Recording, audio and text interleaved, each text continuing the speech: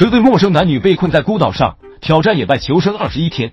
海岸边有不少螃蟹在岸上溜达，他已经饿了好几天，好不容易才看到有只迷路的，立刻绕到背后，用手死死按住它头，轻轻松松就将这螃蟹抓到了。高端的材料往往只需要简单烹饪，让他洗个热水澡，一会的功夫，终于能吃到久违的蟹肉了。咦，不是说双人求生吗？咋就剩他自己一个人了？这还得从十几天前讲起。大壮跟宝儿姐接到节目组的邀请，来到多米尼克岛。岛上虽然没什么吃的，但是水产非常丰富，天天海鲜大餐都没问题。宝儿姐不仅是营养专家，还是一名极限运动员，经常独自一人完成各种挑战。她就担心会跟搭档不好相处。而大壮是退役老兵，身体素质非常好，掌握了不少求生技能。这次接受邀请。除了听说有美女之外，主要原因是每天要工作十七小时去处理海贝，他就想溜过来度假放松一下。大壮已经迫不及待脱光衣服去见美女了。双方很快就在丛林里见面，简单交流后，要赶在天黑前到海岸并搭建好住所。幸好这边道路还不算急需，他们还有闲情交流感情。大壮称看到宝儿姐后，孩子名字都想好了。很快他们就看到了大海，这里有一条小河。看起来并不怎么干净，为了安全起见，大壮在隔壁挖个洞，让水稍微过滤一下，渗透过来。一会的功夫就有一小滩水，这喝起来比农夫山泉还甜。暂时不用担心水源，得抓紧时间搭建住所。但是大壮还在纠结在哪里搭建好，兜兜转转都没找到一个合适的地方，把自己累得不行。距离天黑还有一两个小时，留给他们搭建住所的时间不多了。最后还是选择在河流附近的空地上，幸好附近有不少材料能够用来搭建住所。但是靠近海岸不断有强风吹过，宝儿姐有点担心晚上会被海风冷醒。虽然说这里经常下暴雨，但是大壮看着阳光觉得不会这么倒霉。然而到了晚上下起了暴雨，他这嘴是开过光的吧？宝儿姐在里面冷得瑟瑟发抖，不断有雨水滴进来。大壮有点后悔了，还不如回去打工舒服。好不容易才熬到了天亮，还是冷的不行。他们重建搭建住所，确保不会再被雨淋湿。宝儿姐提出了不少建议，但是都被大壮给否决了。这让他非常难受，两人都想占据主导权。面对一意孤行的大壮，宝儿姐也没有什么办法，只能到海里游泳冷静一下。大壮觉得自己并没有错，希望他能够理解。这才第二天，两人就出现了不少矛盾。这对男女被困在孤岛上，为了生火做起了双人运动，用竹子不断摩擦产生热量，点燃火绒。虽然看到有烟冒出，但是没有一点火花。Come on, come on, almost there。费了不少力气，还是没能将火弄好。这可把大壮气坏了。到了关键时刻掉链子，他们到海岸边冷静一下后，觉得生火失败肯定是太饿了。大壮打算想先弄个捕鱼陷阱，抓点吃的。正所谓男女搭配，干活不累。两人很快就将这陷阱编制完成了。大壮就是干渔业的，知道哪里放置陷阱最好。水里到处都是吃的，这可把他馋哭了。现在只需要等他们上钩就行。今晚只能再忍忍了，希望明天有肉有火。天一亮，大壮就到水里查看陷阱。然而里面什么东西都没有，这实在太糟糕。没办法，只能找好点的木块继续生火。两人不断尝试摩擦生火，但是依旧没看有火花。宝儿姐打算尝试用公式钻木取火，但是编制出来的弓弦并不好用。刚看到有烟冒出来，就绷不住了，只能用回老办法生火。大壮之前生火信手拈来，到了这里却不会生火了。对自己非常失望，早知道当初就带个打火器过来。大家费了不少力气，依旧没有将火生起来。宝儿姐的心情变得越来越差，她感觉这里一切都在跟他们开玩笑，很想现在就回到家里的大床躺着。看到大壮一直努力的生火，也没有成功，就更加伤心了。这跟他电视看到的野外求生完全不一样，没有火，没有食物，这让宝儿姐对大壮非常失望。原本以为他是王者，没想到是青铜。现在宝儿姐完全没有心情去干活。就在待在这里发呆，让自己暂时忘记烦恼。接下来几天，每天起来第一件事就是生火，耗费了不少力气，依旧没能生火成功。靠椰子和海胆让肚子稍微舒服一点。大壮为了填饱肚子，到海岸边寻找食物。这里经常会看到螃蟹上岸溜达，螃蟹没有看到，倒是让他找到不得了的东西——绳子。用这个生火能大大提高成功率。大壮立刻跑回去准备工具生火。两人再次挑战生火。但是宝儿姐已经累得握不住，这让大壮很难顺利的摩擦起来。Come on, just hold it。他不想干了，让大壮自己一个人摩擦生火，这可把大壮气坏了。两人之间的矛盾变得更剧烈。要是让你和异性待在孤岛上，能生存多少天？反正这个女人是受够了。大壮希望宝儿姐能够帮忙一起生活，他一点都不喜欢这样的生活。要是大壮能够自己完成钻木取火，他们之间关系也不会变得这么差。现在两人基本上没有什么交流。虽然大壮想通过交流改变这个局面，但是宝儿姐完全不想理会他，独自一个人在默默工作，像极了女朋友生气在那耍脾气。大壮的耐心也消耗殆尽，现在就他自己一个人冷静一会。宝儿姐除了基本的交流之外，再也没有更多的交流。夜晚宁愿冷着也不想跟大壮取暖。大壮依旧每天努力的生活，宝儿姐经常躲到角落哭泣，他也不知道怎么跟宝儿姐沟通，就只能这样僵持着。这天，大壮醒来并没有发现宝儿姐的身影，他有点担心会不会出现什么意外，在周围到处寻找都没有找到他。原来宝儿姐去找制作人要离开这里，制作人再三确认后，宝儿姐确定放弃。当他将这个消息告诉给大壮时，整个人轻松了不少，希望大壮能够早日生活成功，然后坐上节目组的车回到自己的家里。这次孤岛求生可把他折磨的不行。对于宝儿姐的离开，大壮非常生气，无法接受会抛下同伴的人。挑战仍在继续，就剩他自己一人了。现在只能耗费更多的力气生活。幸好这一次非常成功，终于将火升起来。所以说不比自己一下，都不知道自己多优秀。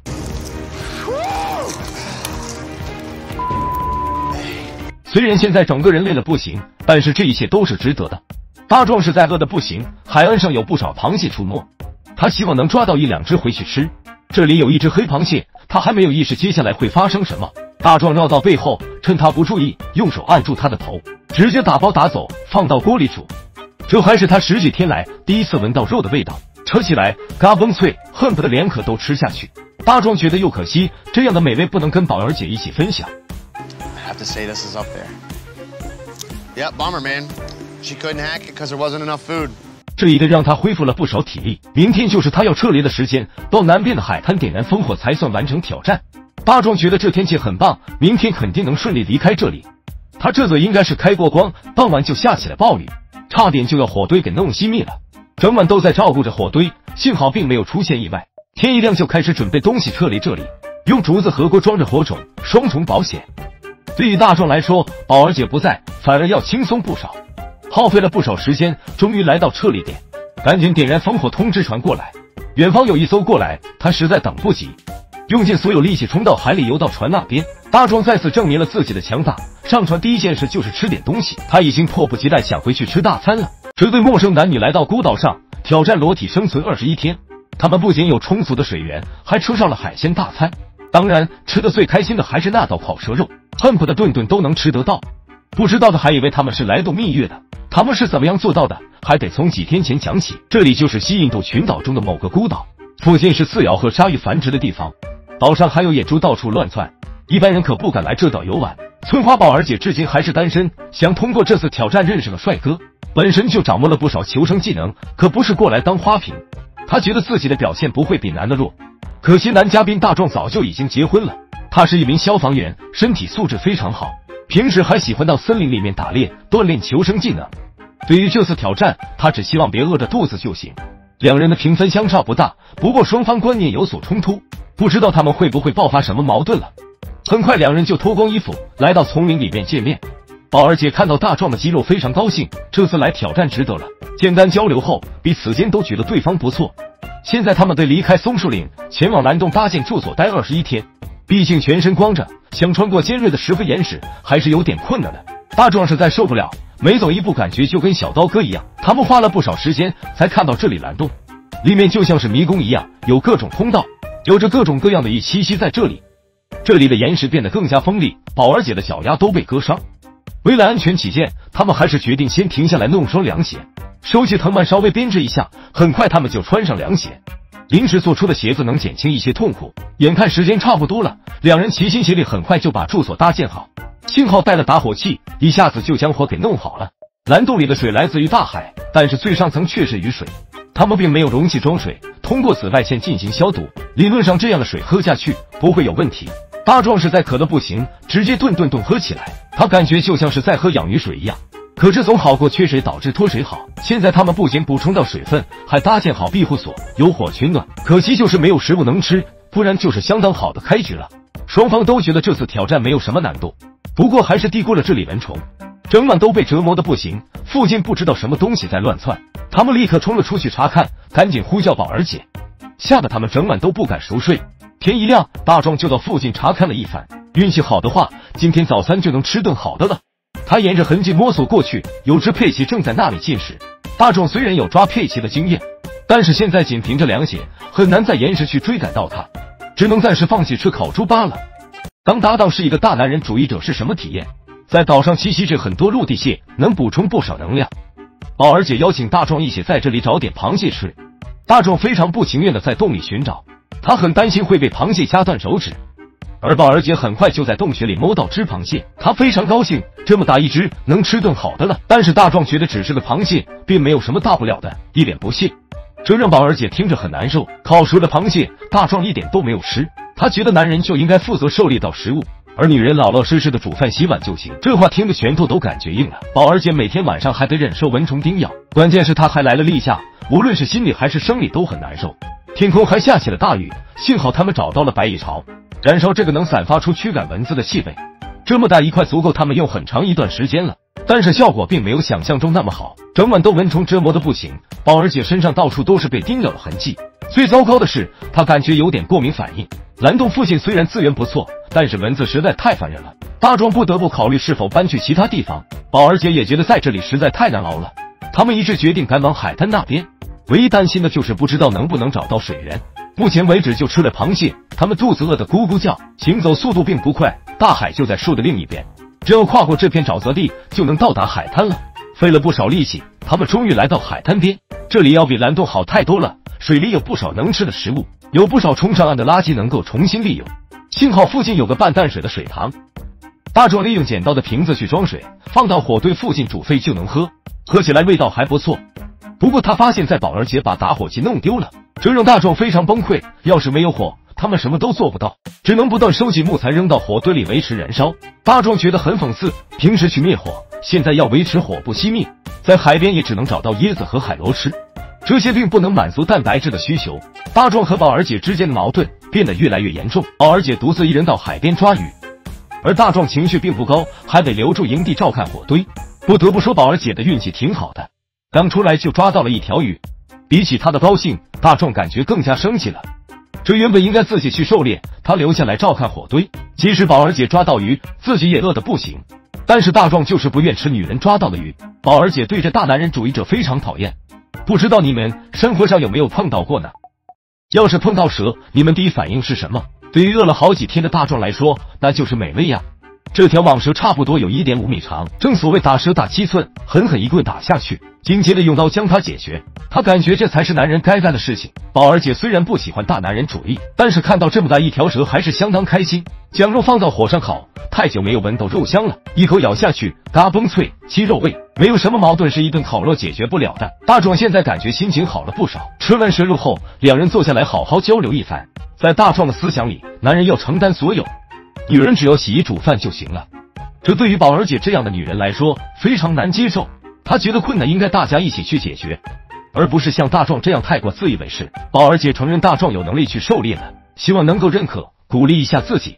大壮虽然觉得自己并没有什么错的，但是在这里的确应该相互帮助才能熬过二十一天。很快两人就商量好轮流照顾火堆，双方接下来几天都没有爆发过什么矛盾。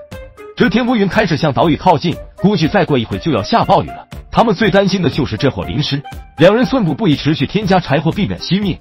幸好这里并没有持续太久，他们每天只能靠吃椰子和螺肉补充体力，这远远不能满足一天的消耗，尽量躺着休息。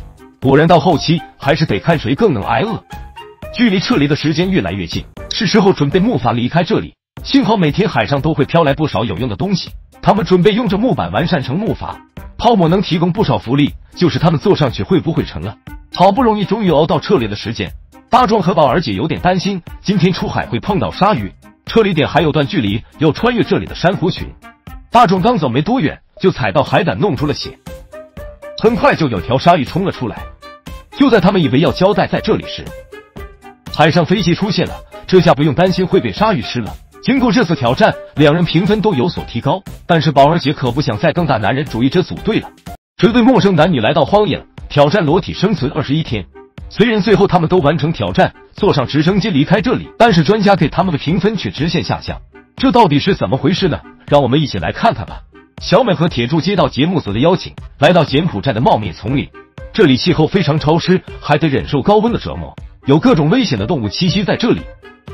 铁柱作为退役老兵，对这次挑战非常自信，希望能给自家孩子做个好榜样。而小美虽然是个模特，但是之前是海军陆战队员，掌握了不少生存的经验。即使两人都有从军的经验，可专家对他们的评分并不算高，差不多算是挑战者中最低的一组。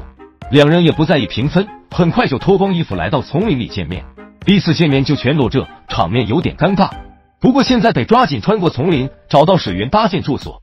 铁柱对于美女模特还是挺满意的，在赶路时主动搭讪聊天，缓解尴尬。花了不少时间进入到竹林里面，树木变得越来越密，他们全裸的非常容易被弄伤，底下到处都是蚂蚁。铁柱可不想他们爬到身上，幸好没多远就碰见一条支流和岩石开过去，这里非常适合他们搭建住所休息。小美主动承担砍伐竹子的任务，铁柱并不擅长用竹子搭建住所。只能够交给小美去做了，自己则负责生火。毕竟带了打火器，咔咔几下就将火生好了。天黑前棚子还没有搭建好，仅凭一堆火并不能暖和多少。小美已经凉得瑟瑟发抖，想靠到铁柱身上暖和点，但是铁柱可不想因为拥抱取暖破坏了跟妻子的感情，他宁愿冷着也不想抱着小美，这可把小美气坏了。他已经冷得瑟瑟发抖，而铁柱竟然忍心抛下他，自己晕到火堆旁边取暖。两人也不知道怎么样熬过了寒夜。小美起来第一件事就是完善住所，她可不想到了今晚继续被冷风吹。因为铁柱的避险，导致两人之间产生了不少抱怨。为了安全起见，他们打算将水煮沸后再喝。还好附近就是一片竹林，可以用竹子弄成容器装水，这能够在火上反复加热使用。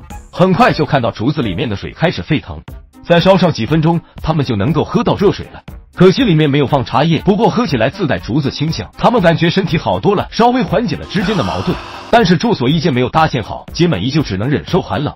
这个女人在这里已经饿了好几天，虽然这里是鳄鱼活跃的水域，但是她实在饿得不行，要到水里寻找蛤蜊吃。花了不少时间，找到了不少蛤蜊，至少今天不用担心会饿着肚子了。比起她找到食物的兴奋，铁柱明显不怎么高兴。小美回来的时候并没有带回火龙。铁柱现在还得去寻找材料生火，将食物弄熟。在食物烹饪的时候，小美觉得时候跟铁柱摊牌了。她可不想跟铁柱一样每天砍伐竹子，花了这么多时间找到食物，没有鼓励，反而抱怨没带回木柴。现在小美心情非常不好，她不觉得铁柱有干什么事情。铁柱表示自己也干了不少事情，但这解释并不能让小美满意。她觉得自己一个人都能在这生存了，要铁柱有何用？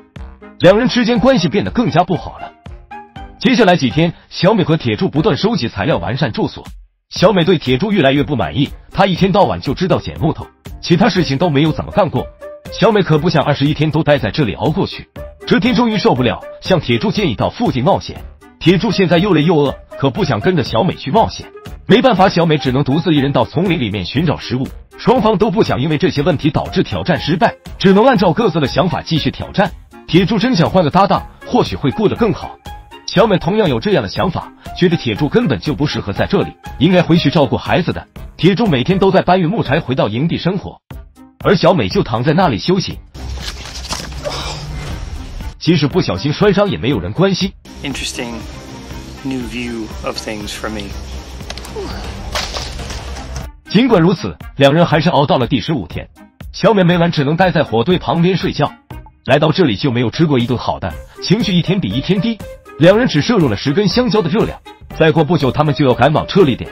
仅凭现在的体力很难支撑他们离开这里，所以今天他们的目标就是寻找食物补充能量。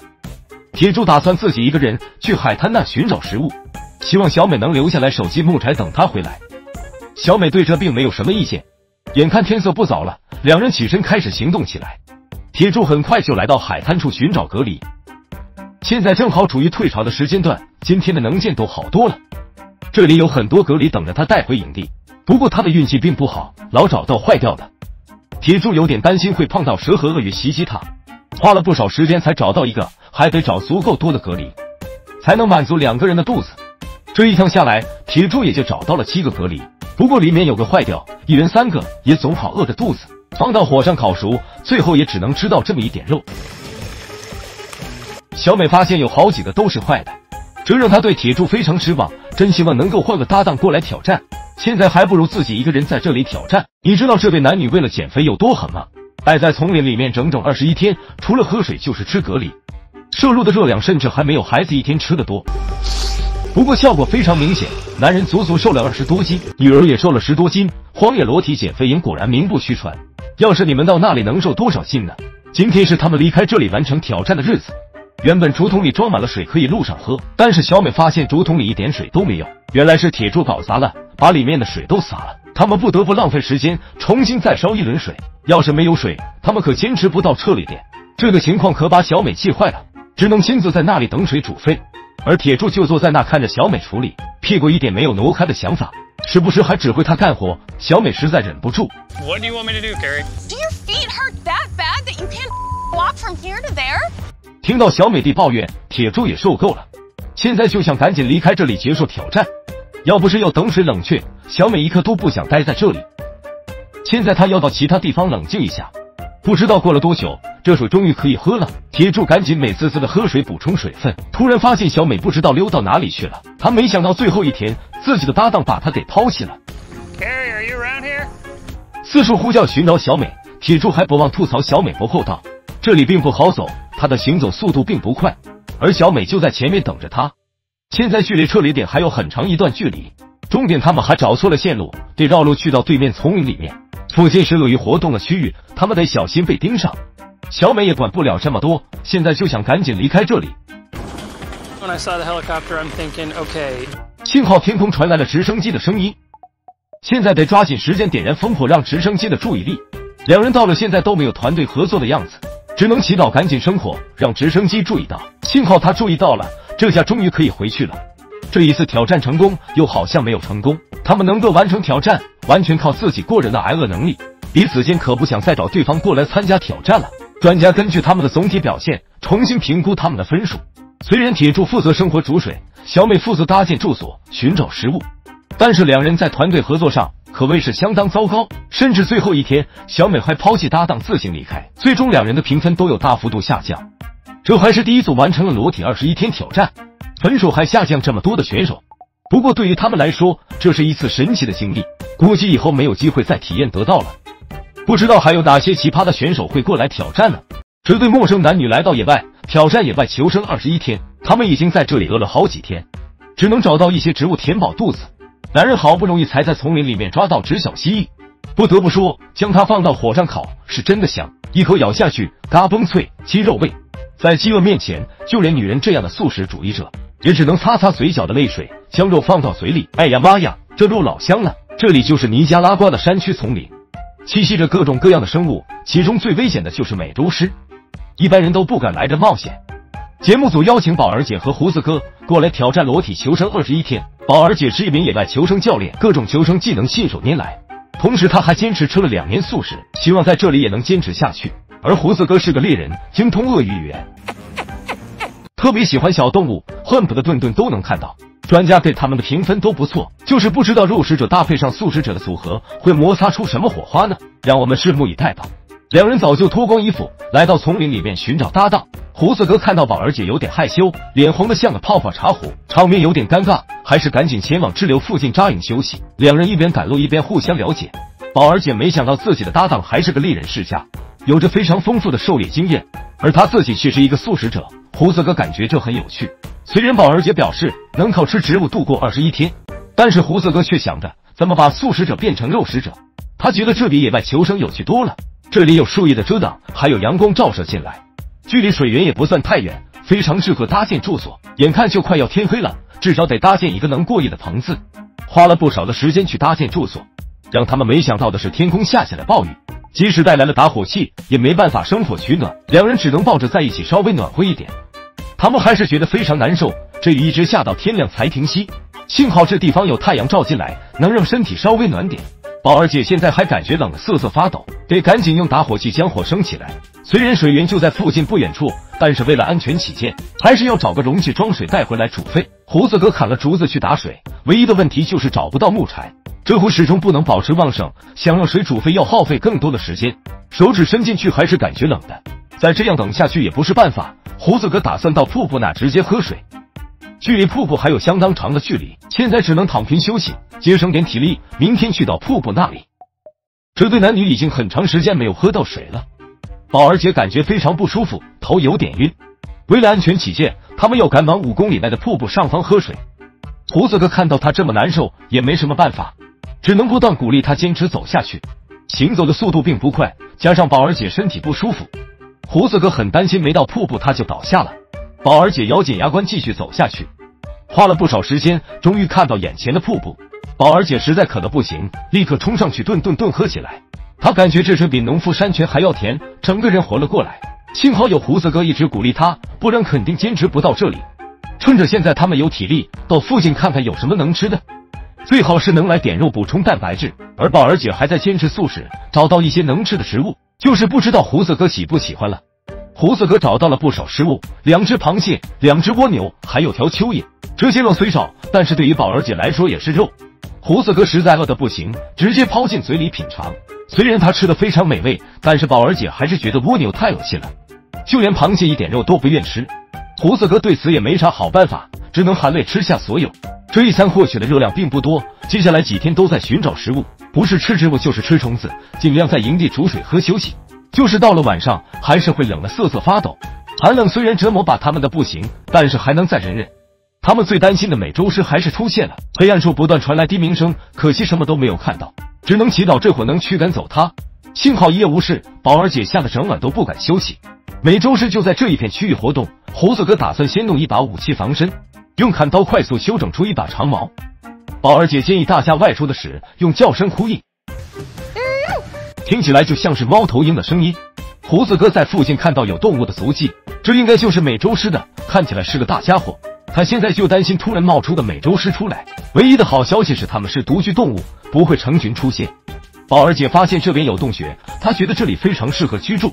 胡子哥非常喜欢这里，将营地搬来这里会暖和不少。搬家过程中，胡子哥发现有条蛇出现在眼前，这可是不可多得的美味。他立刻用木棍压制住它。直接用刀将蛇解决，今晚就不用担心会饿着肚子了。宝儿姐看到蛇都愣住了，还好有胡子哥在。胡子哥现在脑子里都是蛇肉的烹饪方法，他将蛇肉简单处理一下，可以看到肚子里还残留着食物，这可把宝儿姐恶心到了。他实在不想吃到这样的食物，只能看着胡子哥在那大口吃肉。双方摄入的能量相差很大，胡子哥有点担心他扛不住饿倒。洞穴虽然保暖，但是有各种虫子会跑出来。最糟糕的是，各种蜘蛛到处乱窜，他们一点办法都没，浑身上下都是蚊虫叮咬的痕迹，感觉还不如回去原来的地方冷呢。不知道他们能否坚持到挑战结束了。这个男人每时每刻都在寻找食物吃，而他的搭档还在坚持素食的理念，饿得不行，每天起来都能看到蜘蛛从身边爬过。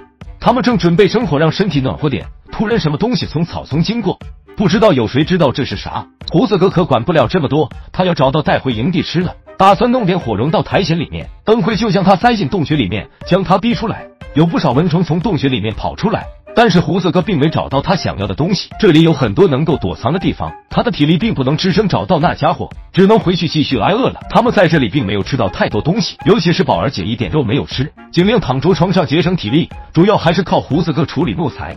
他经常会说一些有趣的事情鼓励宝儿姐，宝儿姐非常庆幸自己的搭档是他。要是换成其他暴躁老哥，怕是早就退赛了。他感觉身体一天比一天差，每天只能摘点植被吃。胡子哥并不喜欢吃这些，还不如多喝点水。也就只有宝儿姐喜欢吃植被了。他得想办法弄点食物吃。这里有一只小蜥蜴，要是能抓到，稍微能填饱一下肚子。胡子哥一下子就把小蜥蜴抓到了，虽然不知道这是什么种类，反正是一头肉就行，直接一刀把头砍掉，简单处理一下就可以放到火上烤了。这还是宝儿姐第一次看到蜥蜴处理的样子，感觉非常恶心，但是肚子却在咕咕叫。将蜥蜴烤至两面金黄，一会的功夫，这肉已经好了。胡子哥早就饿得不行，立刻将肉塞到嘴里，还不断诱惑宝儿姐吃一口。宝儿姐看到这肉，嘴角的泪水都要流下来。在饥饿面前，她也只能一口咬下去。胡子哥相当高兴，宝儿姐终于肯吃肉了。虽然这肉非常香，但是宝儿姐觉得没坚持素食还是有点难过的，只能多吃一点了，回去再重新开始。不知不觉，他们已经待在这里二十一天，现在他们要赶往撤离点。宝儿姐做了一个水瓶路上喝，但是并没有找到什么食物，差不多要走十公里，道路并不好走，还得小心踩到蛇上。花了不少时间，终于看到一个小水潭，穿越这里后就能到达撤离点。虽然这水非常冷，但是胡子哥更担心会碰到蛇，水里什么都看不到，只能凭感觉走过去。幸好并没有碰到什么东西。穿越丛林，终于看到了公路。节目组安排的香蕉货车出现在他们眼前，不仅挑战成功，还能一边吃着香蕉回家。这组挑战者应该是最和谐的一组，并没有发生什么冲突，所以两人评分都上升了不少。不知道还有谁会来这裸体求生减肥营呢？让我们拭目以待吧。这对陌生男女来到小树林挑战荒野求生二十一天。他们每天都能享受到烤蠕虫大餐，蛋白质可是牛肉的好几倍，一口咬下去，嘎嘣脆，鸡肉味。这里就是阿根廷的云雾森林，吸引了不少人过来挑战，不全是馋妹子身体，更多是喜欢吃这些小可爱。小帅是一名野外求生教练，掌握了不少求生技能，经常跟妹子溜到野外练习。他的搭档翠花是一名儿科医生，喜欢放假时野营，听说这里很冷，还提前在家里锻炼，适应低温。专家对小帅的评价非常高，属于高端玩家。翠花这趟抱紧这大腿稳赢，本身这里就比较寒冷，还遭遇了暴风雨，他们开局就要被雨水淋湿。节目组还是第一次碰到这么糟糕的情况。不过小帅和翠花并不在意，他们感觉这样才有挑战。两人很快就脱光衣服到丛林里面汇合，互相简单交流后，赶紧离开这里，找到地方躲雨。这边能吃的食物并不多，他们还得往山上走。海拔越高，气温变得越低，小帅得抓紧时间搭建住所了。这里在河边的高地上，不用担心会被山洪冲刷掉。不过翠花觉得可以再找一找，或许能找到更好的。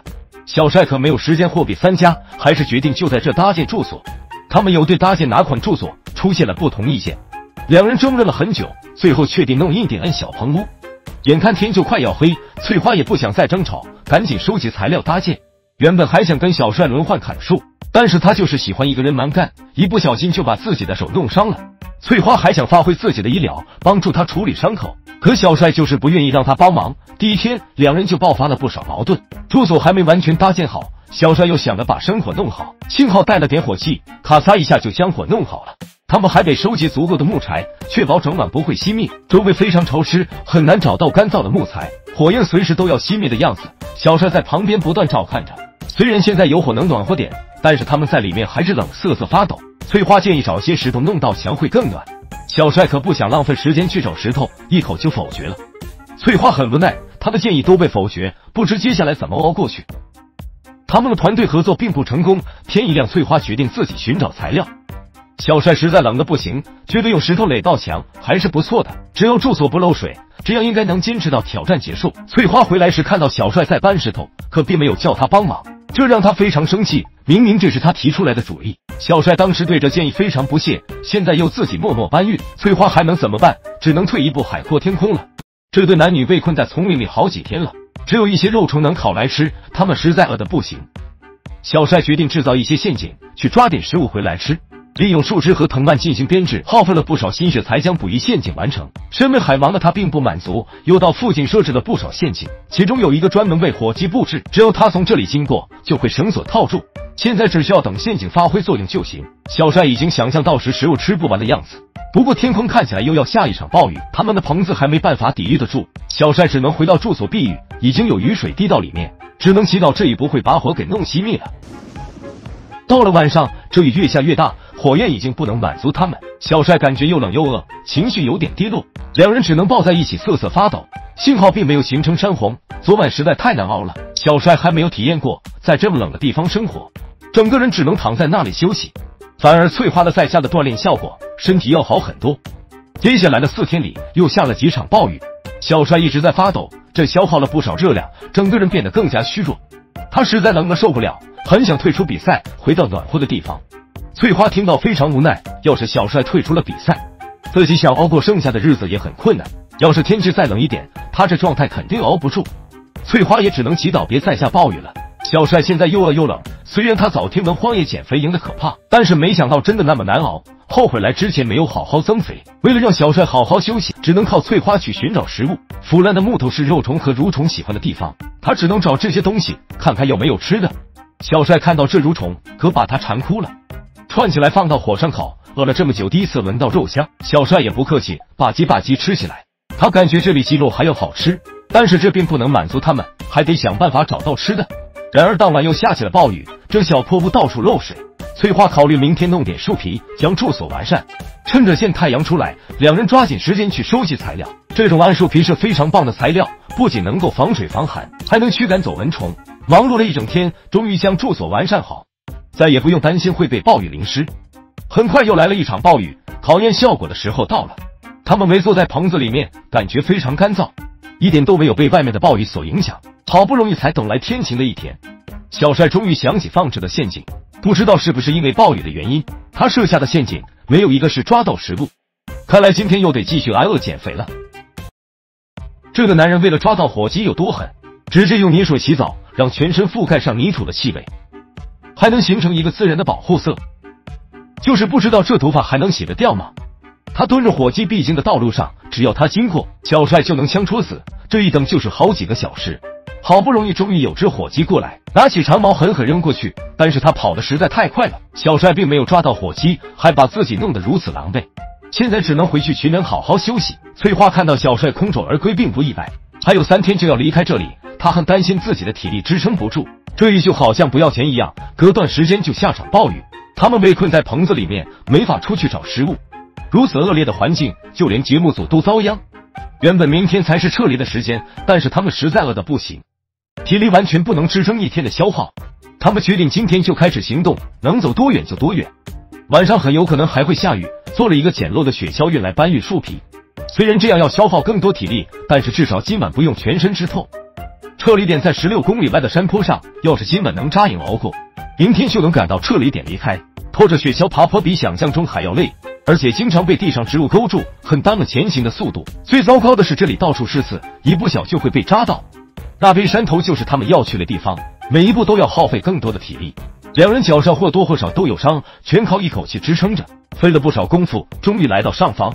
还没来得及高兴，就看到天空的乌云。幸好他们带了树皮，可又用来搭建住所。小帅抓紧时间生火取暖。翠花觉得又累又冷，她有点支撑不住，哭了出来。天黑后，气温下降到最低温只有六摄氏度，他们随时都有可能因为低温晕倒，只能互相不断鼓励。整晚冷的不能入睡。幸好第二天太阳照常升起。小帅没想到过来除了挨饿，还得抗寒，是他大意了。再忍忍就能回家暖和。两人互相帮助走完最后这一段路，虽然体力已经有点跟不上了。但是精神还不错，终于看到了河流，撤离点就在对面。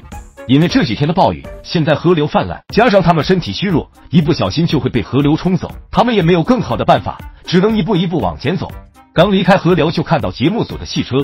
这次挑战不仅要挨饿，还要忍受雨水和寒冷。两人加起来差不多瘦了六十斤。小帅的表现并没有想象中那么好，反而是翠花让大家眼前一亮，评分也有所调整。要是让你带一样东西过去，你会带什么呢？这对陌生男女被困在深山中挑战野外求生二十一天，虽然环境比较恶劣，但是食材却非常丰富。不仅有蚯蚓当零食吃，还有纸白给鸟送上门。将鸟简单处理干净后，放到火上烤，那香味可把隔壁的摄影小哥馋哭了。也就在喜马拉雅山脉才有这种条件。小黑曾经跟朵爷比赛，稍逊一筹输掉。为了更好的磨练自家忍术，受邀过来挑战。而他的搭档宝儿姐是一名退役老兵，掌握了不少求生技能。他很想证明在野外自己并不比男人差。目的地被一片松树林覆盖的山丘，因为冰原上的冷空气导致山下经常下暴雨。他们早就迫不及待想脱光衣服进入到里面汇合。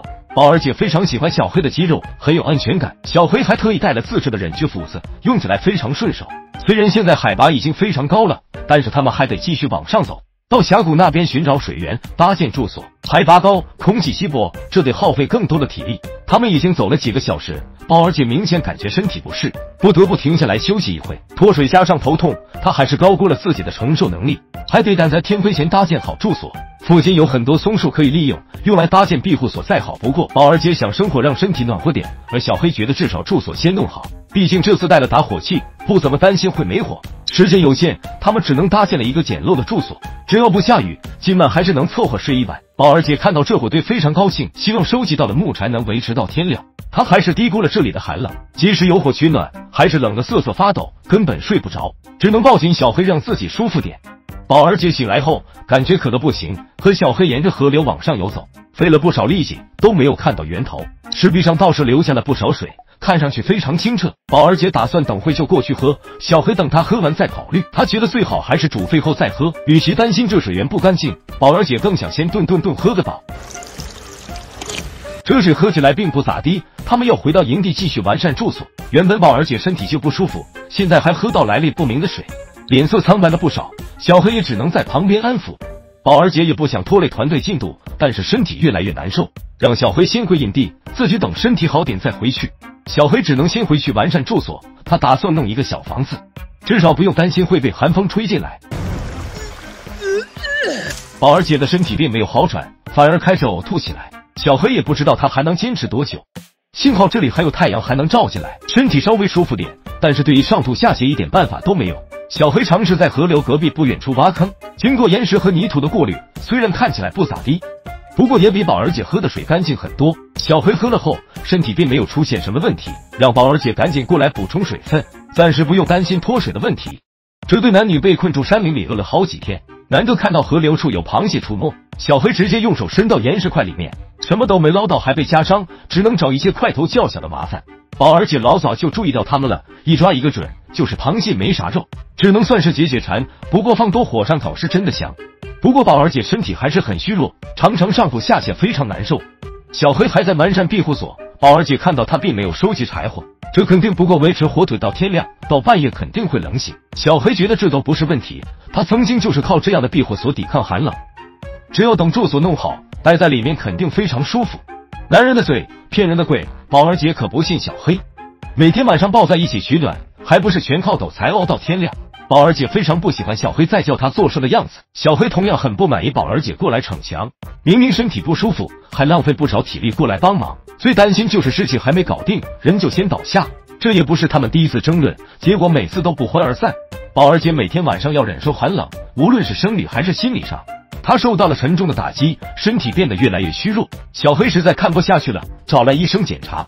宝儿姐被诊断出患有痢疾，至少还有呕吐几天才会好转。虽然医生建议到大医院详细检查，但是宝儿姐并不想退出这次挑战。她要证明自己并不其他男人弱，可不想刚来几天就回家。小黑希望宝儿姐能够多多休息，最好能够放弃挑战去检查一下身体。宝儿姐一听就不乐意听了，医生都说不用治疗，过几天就好。两人为此又争吵起来。接下来几天都是各忙各的事情。小黑觉得大家应该好好交流一下。宝儿姐觉得小黑很不尊重她，每次都在那指手画脚，这可把小黑气笑了。他细数着这几天，宝儿姐在那里躺着时自己都做过的事情，最后才发现真的所有事情都是小黑一个人完成的，这就非常尴尬。他只能到一边好好反省自我。虽然知道都是自己问题，但是脾气上来就是忍不住，加上面子千斤重，才导致两人争论了好几次。幸好小黑并不是小气的人，到了晚上又在一起相互取暖。夜间实在太冷了，庇护所根本不保暖，又要重新收集材料进行完善，还弄了火炉生火取暖。经过他们一番劳累后，住所终于完成了。不知道的还以为他们弄的小房子都密运，耗费了不少时间在搭建住所上面，导致并没有获得太多的食物。除了螃蟹外，吃的最多的就是蚯蚓。宝儿姐每次放到嘴里咀嚼，都能感受到它在蠕动。要不是太饿了，她实在不想吃。接下来的日子，他们要专注于觅食上，不知道还能找到什么吃的呢。这对男女已经饿了十几天，期间也就吃了点螃蟹和蚯蚓充饥。他们更需要蛋白质的补充。也不知道是谁干的好事，有只死鸟就躺在水里。宝儿姐刚还在下游喝了不少水，希望不会感染到什么病菌了。Hey, Hakeem. 呼叫小黑过来看看这红嘴蓝雀的肉。这块头足够他们饱餐一顿了，但是鸟禽携带着不少疾病，最怕吃完之后立刻就躺板板回家。小黑看到这肉早就馋哭了，大不了回去医院躺几天，也总好过在这里饿着肚子强。根据他多年吃肉的经验来看，应该还挺新鲜。宝儿姐将这鸟简单处理后，就放到火上烤熟。这还是他们第一次闻到这么香的烤肉，早就已经忘记这鸟可能会携带什么疾病。这鸟烤的滋滋响，现在只想塞到嘴里品尝。为了安全起见，这肉烤的有点柴。吃起来就像啃牛肉干一样，这肉很快就被他们瓜分的差不多了。宝儿姐对此已经相当满意，当然要是能再来几只就更好了。就在他们以为克服所有困难，等待撤离时，一场暴风雨袭击了过来，两人哪里都去不了，只能待在住所里不断添加柴火。还好小黑的手艺不错，完全不用担心会漏雨，这一下就是好几天。自从吃完鸟肉后，就再也没有吃到像样的食物。还有一天的时间就到撤离的时间。他们很担心体力支撑不了到撤离点，只能尽量多找点食物和休息。今天就是他们离开这里的时候，这房子就留给其他有缘人住。刚离开营地没多久，宝儿姐的痢疾又发作了，她喝不下水，很有可能半路就会脱水晕倒。不得不推迟离开时间，让宝儿姐好好休息。等她醒来时，精神已经好了许多。小黑在赶路时不断鼓励着宝儿姐，每走一小段，宝儿姐就要坐下来休息一会。也不知道天黑前能否离开这里。下山的路并不好走，河流经过的石块长了不少青苔，要是摔下去就不是断手断脚那么简单了。两人耗费了不少时间才通过了岩石间，前方传来汽车行驶的声音，那就是他们的撤离点。立刻攀爬上去，路过的司机突然看到两个裸体，估计吓坏了，一个跑得比一个快，最后只能坐上运机车。看到这些鸡，可把他们馋哭了，要不是有铁笼锁着，当场就要弄个全鸡吃。这次挑战让他们重新认识了自己。在这里一下子就瘦了几十斤，比什么减肥营都厉害，就是减起来有点费命。这对陌生男女被困在沼泽丛林里挑战野外求生二十一天，别人过来不是带刀就是带打火器，而这个男人就不一样了，带一大圈胶带过来。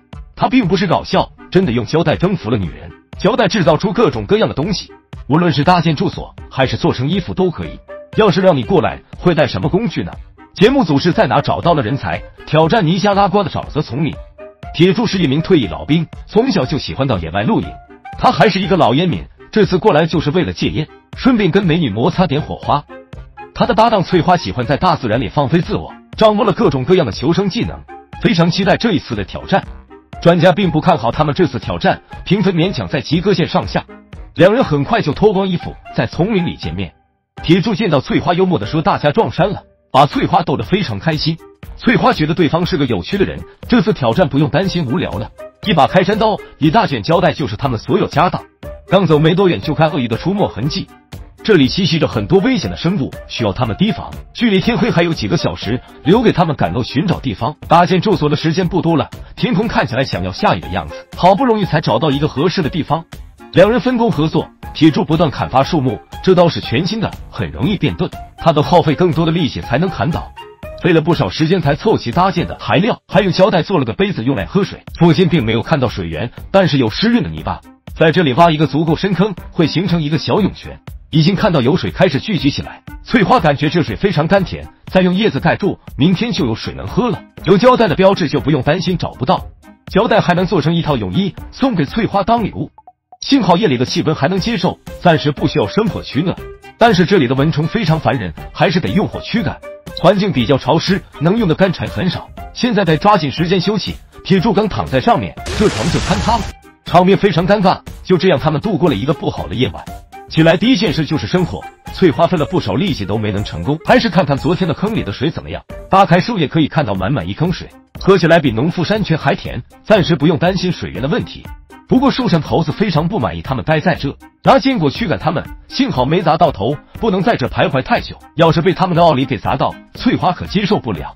这个男人为了戒烟有多狠，光着身子待在丛林里。他已经在这饿了好几天，这里的植物有不少刺，身子疼的不行。要不是为了这香蕉，他也不想进来这里。这一大把蕉足够吃好几天了。回去的路上还看到凤梨，这可把他高兴坏了。就是将这些打包带走有点费力气。谁能想到前几天铁柱和翠花还在重新搭建住所，利用胶带将树枝固定住。他还打算弄一个毯子放地上。铁柱已经一天没碰过香烟，整个人心痒痒的。他得专注于搭建住所，可现在像极了想着烟又忍不住的样子。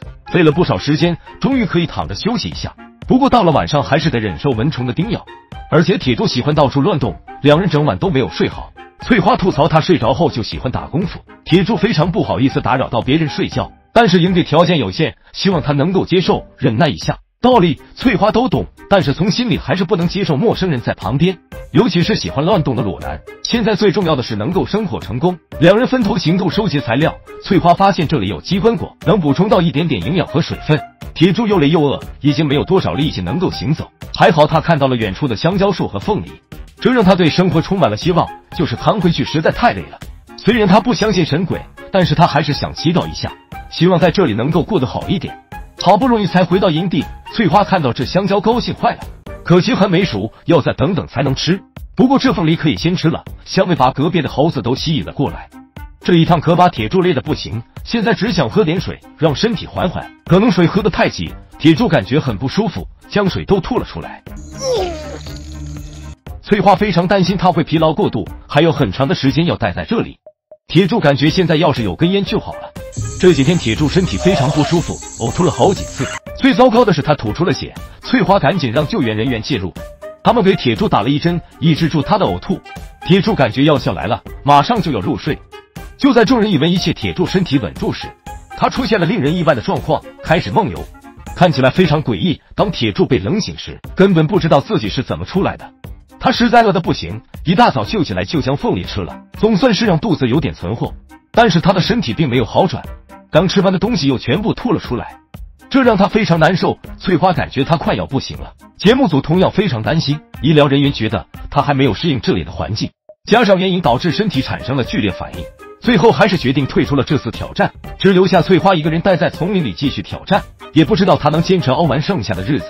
这个女人实在太惨了。别人都是双人求生挑战，而她的搭档因为身体不适回家休息。当翠花一个人坐在营地休息，才意识到这里的恐怖。不过现在不用担心铁柱会动手动脚了，睡觉的空间瞬间大了一倍。但是半夜传来了吼吼的声音，这还是他们第一次这么靠近营地。翠花很担心吼吼过来袭击人，整晚都不敢熟睡，加上蚊虫的叮咬，身上全是包子，非常痒。她也没办法生火驱蚊。之前得到的凤梨也已经腐烂不能吃。现在也就香蕉能吃，因为还没熟透，非常难吃。痛苦面具立刻就戴在脸上，无法消息。这几天也就吃了点香蕉，翠花实在受不了，到附近看看有什么能吃的。还别说，真让他找到了一颗大杏仁，用石头敲开比较麻烦，实在太坚硬了，连石头都敲碎，啥都吃不了。最糟糕的是，一言不合就下起了大雨，他只能蜷缩在营地里避雨。在这里，唯一庆幸的是有稳定的水源支撑着。翠花大部分时间都待在营地挨饿，附近能吃的果实并不多。到了晚上就是昆虫的地盘，她很担心会被昆虫爬过。要是换成其他人，早就把鸡把鸡抓来吃了。翠花感觉每天都有人在耳边劝她放弃，这让她非常难受。但是她更想完成挑战，证明自己。再次拿出那颗杏仁，用刀不断敲击，费了不少功夫，终于将它敲开了。这么一点果肉，已经是她这几天吃过最美味的东西。不知不觉终于熬到了最后一天，翠花感觉身体非常疲惫，有点脱水和营养不良。她也不知道想在的能力能否支撑到撤离点，要走好几公里，深入毒蛇密布的丛林，沿着小溪找到河口的船离开这里。谁能想到刚刚还阳光明媚，眨眼间就下起了暴雨。为了早点离开这里，翠花不敢停下来休息，在雨中艰苦前行。她每次转角时都希望是尽头，但是每次走过去，发现又是漫长的道路。身体感觉就像灌铅一样沉重，翠花也不知道走了多久，终于看到不一样的场景，救援船就在眼前。当他坐上船上时，他松了一口，很想第一时间跟铁柱分享这个消息。独自一人成功待了十六天，还完成了挑战，这是他可能是这辈子最疯狂的事情。哇当铁柱听到这消息时，非常震惊。他也有个好消息，就是戒烟成功。看来这里不仅是减肥营，还是戒烟最佳地点。要是哪个朋友想减肥戒烟，就让他过来挑战，保证成功。这对陌生男女被困在非洲草原，挑战野外求生二十一天，他们只能找到这样浑浊的水源，里面不知道混杂了多少动物奥利给。没办法，实在太渴了，还是顿顿顿喝起来。他感觉比尿液还要难喝。那问题来了，你是要喝这滩水，还是喝尿呢？节目组邀请小帅和宝儿姐。来到非洲大草原，这里地形险恶，布满锐利荆棘，酷热的环境加上处于旱季末期，想在这里找到水源比想象中还要难。还有各种危险的的动物在附近栖息着。对于这次挑战，他们做足了准备。当小美知道要到非洲时，每天赤脚行走在碎石路上锻炼，还暴饮暴食，已经增重三公斤，争取多点脂肪去挨饿。小帅同样每天吃花生酱增重，自家傻狗也跟着胖了一圈。他已经做好到非洲挨饿的准备了。有趣的是，他们都不是专业的求生专家。宝儿姐是夜店的啤酒妹，很多求生技能都是自己摸索出来，还没试过长时间在野外求生。而小帅是个银行家，平时喜欢带着妹子到野外打扑克，也是第一次要到恶劣环境里待那么久。专家并不看好他们，分数是所有挑战者中最低的一组。你们觉得他们能否挑战成功呢？两人很快就脱光衣服，在非洲草原见面。宝儿姐对小帅的肌肉非常满意，看起来是个可靠的男人。双方简单交流后，一致决定到水源附近搭建住所。要经过一大片荆棘区，对于他们来说非常折磨。走到哪，皮肤都要跟荆棘深入交流。宝儿姐现在只想赶紧离开这里，让身体缓缓。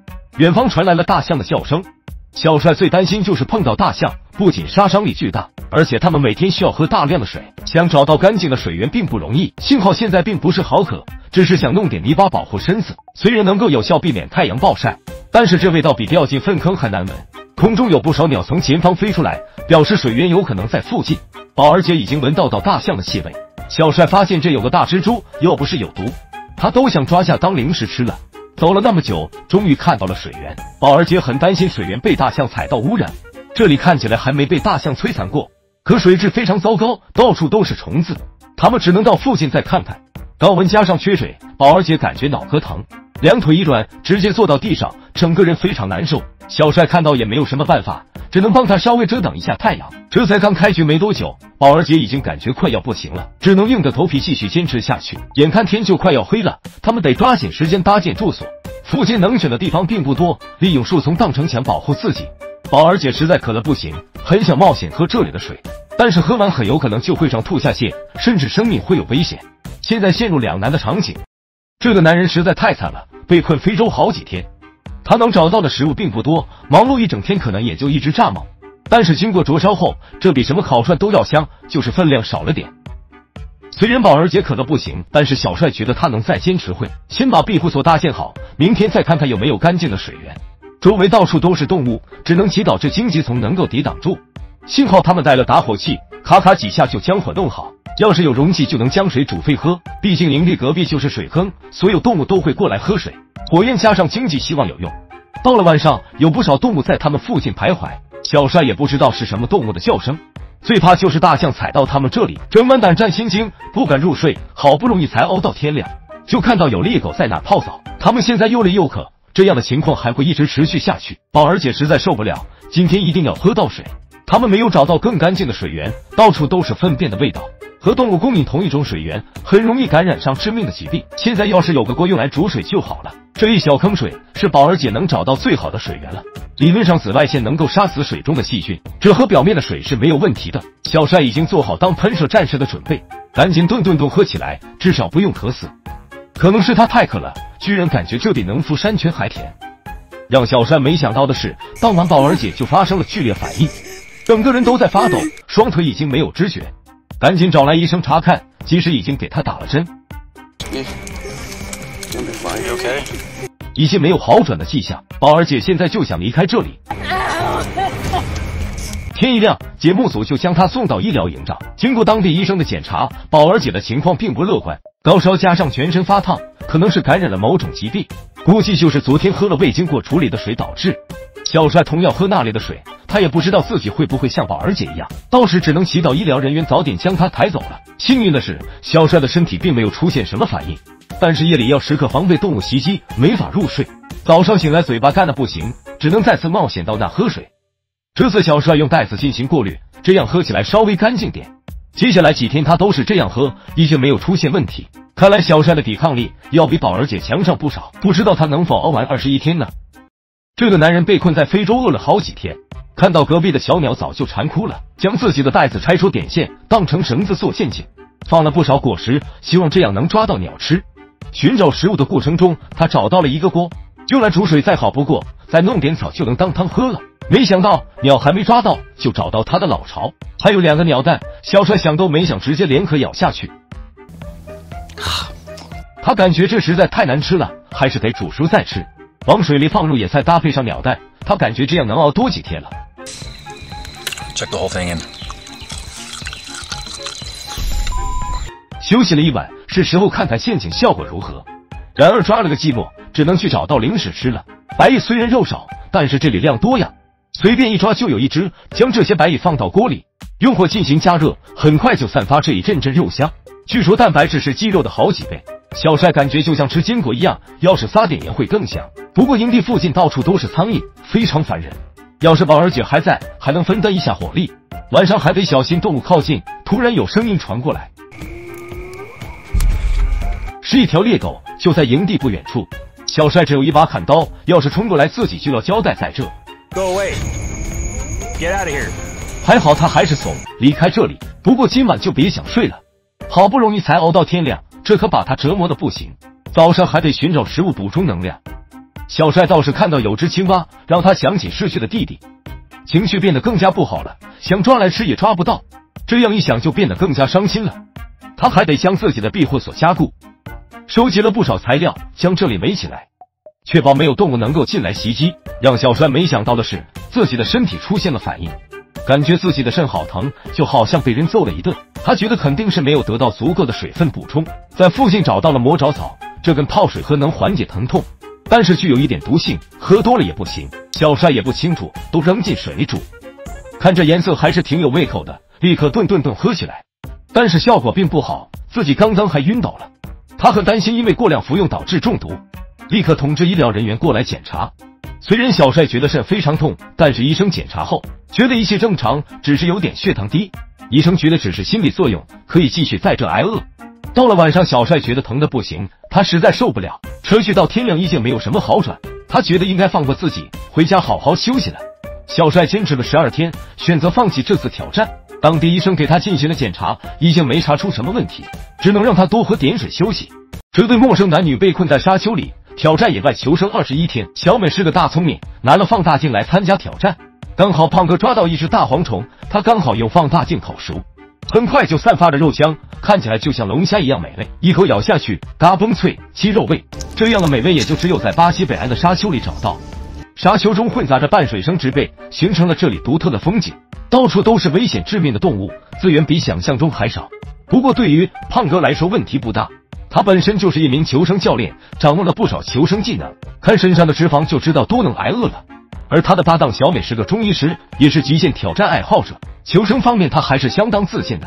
有趣的是，两人都得了社交牛逼症，经常光着身子在人面前聊天都不觉得尴尬。不知道两个坦荡荡的人碰在一起会摩擦出什么火花。两人很快就在沙丘中会面。小美很担心胖哥跟不上自己的行动，而胖哥看他这小板，感觉肯定挨不了多少天饿。自己怎么说也带了把刀，能砍点东西。小美带的放大镜，还不如换打火机用的香。两人互相嫌弃中赶路，寻找合适的地点搭建住所。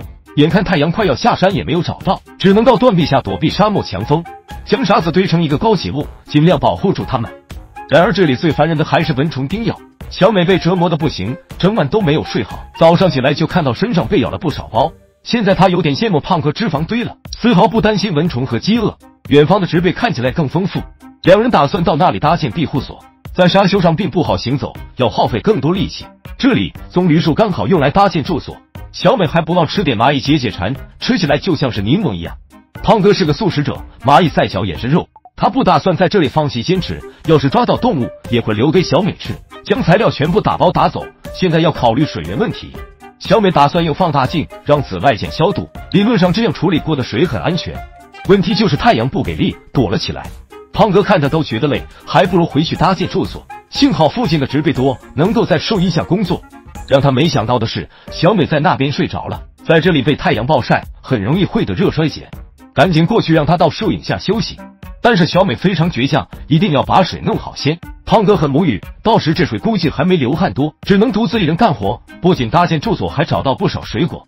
而小美被晒得全身通红，实在受不了，回去休息。赶紧编织东西，遮挡保护自己的皮肤。这个男人实在太幸福了，跟美女被困在沙丘里，每天就躺在营地里休息，什么都不想干。凭借他的脂肪能多熬几天，这可把小美气坏了。感觉他就跟发臭的猪肉一样，两人之间的关系变得越来越差。胖哥可不像小美一样用放大镜消毒，直接饮用水里的水，他感觉挺好的，不会有问题。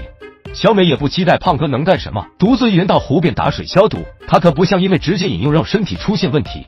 而胖哥在营地抓到了一只大蝗虫，看起来就像肉干一样，刚好送给小美吃。小美感觉胖哥已经在享受这里的生活，忘记他们是在野外求生。不过当他回来看到这蝗虫时，高兴坏了。正所谓吃人嘴短，拿人手短。小美脸色好了不少，拿起放大镜对着蝗虫，将它烫熟。为了加快烤熟，她简单处理一下，很快散发着肉香。胖哥还在坚持吃素，小美只能含泪吃下这蝗虫，一口咬下去，嘎嘣脆，鸡肉味。他爱上了这肉的味道，恨不得天天都能吃到。So good. 夜里刮起了大风，整晚都在瑟瑟发抖中度过。小美还不习惯跟胖哥分享体温，这样的生活过得非常不舒服。她现在感觉有点崩溃，加上胖哥不干活，想靠着脂肪熬完二十一天。小美现在只有一个想法，那就是分家，将营地拆了，自己在不远处重新搭建住所。胖哥很无奈，也不想再说些什么，两人就这样各过各的。不幸的是，当晚就下起了暴雨。小美现在感觉又饿又冷。有点怀念胖哥挡风的身影，这雨一下就是好几天，他们除了待在原地什么都干不了。好不容易才等雨停，完全没有休息的时间，还得重新巩固住所，寻找资源。两人在精神上绷得非常紧。小美已经好几天没有吃过食物，需要大量食物补充热量，而胖哥就躺在水里休息，静等太阳落山。反正他还有大把脂肪能消耗。小美气坏了，这是求生挑战，可不是挨饿挑战。胖哥饿了也会找点仙人掌吃，只有一根足够他一天的消耗，整体上要比小美好上不少。小美丽内心几乎是崩溃的，她这小身板可熬不过胖哥。虽然很想熬完这二十一天，但是没有足够食物，随时都可能晕倒在地上。不知道她能否完成这次挑战。这个女人实在太惨了，被困沙丘里好几天了，实在饿得不行，哇的一声直接哭了出来。她的搭档凭借厚实的脂肪，感觉这里还不错。这样一想，小美感觉更加难受了。当她像胖哥一样躺了一天，虽然又累又饿，但是之前好了不少。事实证明，来这里就是考验挨饿能力。他这小身板只能通过食物维持。小美没有太多的力气行走寻找食物，好不容易才看到颗椰子，实在绷不住了。胖哥看起来精神不错，借刀给他开椰子喝。小美感觉这椰子实在太美味了，感觉身体要舒服了不少。经过再三思考，小美还是觉得跟胖哥好好交流。她深刻意识到自己当初说的话太过分了，在这里向胖哥道歉，希望大家能够和好。胖哥也没有为难她，两人在拥抱下和解了。就在他们能一起完成这次挑战时，小美出现了意外，躺在地上一动不动。胖哥慌了，赶紧叫医生过来。无论怎么呼唤，小美都没有反应，立刻将她抬走送往医院救助。胖哥恨不得分点脂肪给小美，让她好过点。节目组很快就将小美送往最近的医院急救。幸好小美经过了治疗，很快就醒了过来。医生建议还是不要继续挑战了。很可惜，小美只能放弃这次挑战。希望胖哥能加油。现在是第十七天，距离完成挑战还有几天时间。胖哥待在营地里休息，饿了就到附近寻找果实吃。不过精神上不太好，开始有点神经兮兮。好不容易，终于熬到了最后一天，胖哥要开始准备撤离的工作。他要直接穿越沙丘，沿着河流到达撤离点，差不多要走十多公里。胖哥看了看自己的脂肪，应该还能再坚持坚持。独自一人行走在沙丘上。不仅要忍受太阳暴晒，还得被强风刮，就好像有人拿刀对着一样，身体感觉有点不舒服，就差那么一点了。他可不想关键时候放弃。好不容易，终于看到红色河流，踩进去就像糖浆一样，走走停停好几次。就在他快要坚持不住时，天空传来直升机的声音。胖哥独自一人度过了最艰难的时刻，完成挑战。事实证明，想要挑战成功，还是得多吃点再来。还有谁过来参加挑战呢？让我们拭目以待吧。这对陌生男女被困在沼泽地里挑战野外求生二十一天，别人只能靠挨饿完成挑战，而他们饿了就到附近抓鱼吃，一枪砸下去就有条大鲶鱼能吃，整整一大块肉，咬下去满嘴都是油，甚至连鳄鱼都能抓来吃。不知道的还以为他们是过来度假的。这里就是美国最大的沼泽地，里面栖息着各种各样危险的生物。不过对于胡子哥和宝儿姐来说，都是美味的食材。